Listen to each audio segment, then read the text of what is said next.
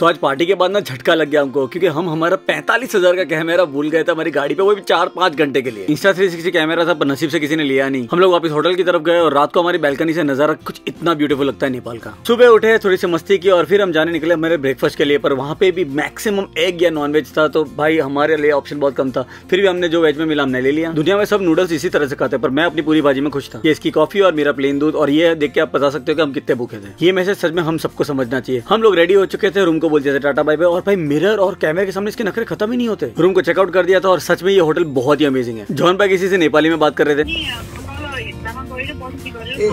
और हमको क्या समझ में नहीं आ रहा था क्या बोले। फिर वहाँ से हम निकल चुके थे अंकिता को एक सरप्राइज़ देने के लिए जिसके लिए वो बहुत ज़्यादा डर रही थी। रास्ता तो गूगल देवी बता रही थी और मैं इंस्टा 360 से थोड़े से शॉर्ट्स लेने की कोशिश कर रहा था। रास्ते में ये लाइव परफॉर्मेंस चल रहा था और अंकिता का अब क्या बुरा हाल होने वाला है वो आपको नेक्स्ट वीडियो में देखने मिलेगा। तो सब्सक्राइब कर लेना और लॉन्ग वीडियो को देखने के लिए पिन कमेंट को चेक करना मत भूलना।